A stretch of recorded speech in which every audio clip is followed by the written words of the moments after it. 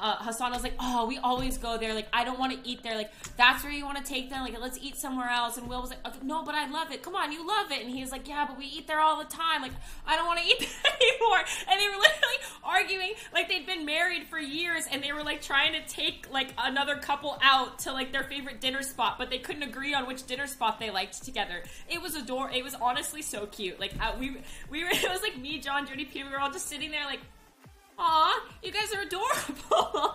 it was, re- it was, yeah, it was really.